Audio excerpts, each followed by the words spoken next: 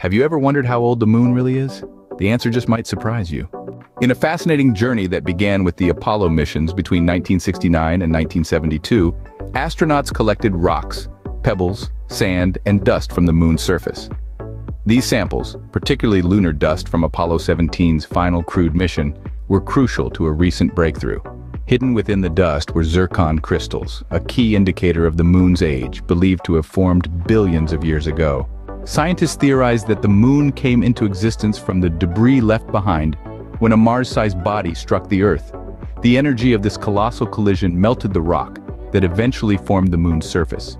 Fast forward to today, and the age of the moon has been a subject of intense study. According to Professor Philip Heck from the University of Chicago, these zircon crystals are the oldest known solids that formed after this massive impact suggesting that the moon is at least 4.46 billion years old. Professor Heck explains the process. Zircon crystals couldn't form and survive when the surface was molten, so any crystals on the moon's surface must have formed after this lunar magma ocean cooled. Otherwise, they would have been melted and their chemical signatures erased. However, earlier studies had suggested that the moon was younger. What sets this study apart is the use of atom probe tomography, a technique that examines a structure at the atomic level. Dr. Jennika Greer, the study's lead author, explains that the crystal sample was sharpened into a tip using a focused ion beam microscope, and atoms were then evaporated from the tip using UV lasers.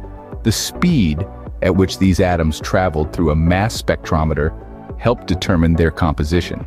Interestingly, the radioactive decay of many of the atoms found inside the crystals caused them to lose some protons and neutrons. Scientists have determined how long this process takes, discovering a new way to determine a sample's age by examining the ratio of different lead and uranium atoms, also known as isotopes, present in the sample. Professor Heck expressed his awe at this discovery, stating, It's amazing to be able to have proof that the rock you're holding is the oldest bit of the moon we found so far. He further added that understanding the moon's age helps anchor many questions about Earth. It is easier to comprehend what has happened to something throughout its history when you know how old it is. In conclusion, this pivotal study revealed that the moon is 40 million years older than previously thought, making it at least 4.46 billion years old. This discovery not only aids our understanding of the moon's history, but also provides a framework for comprehending the history of our own planet. The research results have been presented in Geochemical Perspectives letters. So the next time you look up at the moon, remember, it's been there, silently witnessing the history of our Earth for over 4 billion years. Click on like and subscribe to recommend our channel. But if you're keen to know when we release more videos, don't forget to click on that bell too.